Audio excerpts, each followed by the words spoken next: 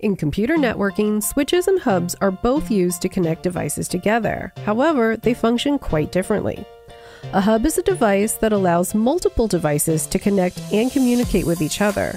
It sends all incoming data to all connected devices, which means that a lot of unnecessary traffic is created. This can slow down the network and cause congestion.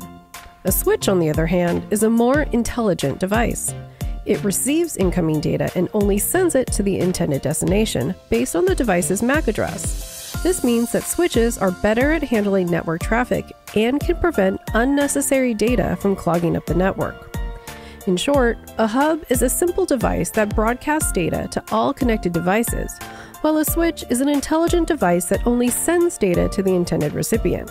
So, if you're looking for a more efficient way to connect devices together, a switch is the better choice.